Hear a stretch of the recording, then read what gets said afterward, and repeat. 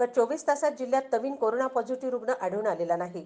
तसेच active positive रुग्णांची संख्या निरंक आहे.